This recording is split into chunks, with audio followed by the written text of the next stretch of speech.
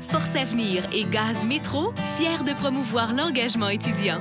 Le cégep, c'est le moment pour vivre des expériences. On veut retourner au ah, Cameroun déjà.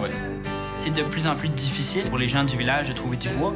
Donc nous, on, on proposait un four euh, qui permettait de concentrer la chaleur. D'économiser de 50 à 70 euh, du bois. C'est juste bien à force de t'engager. Tout ce que tu en gardes, c'est des bons souvenirs, des rires, des visages. Il y a juste du merveilleux dans l'engagement.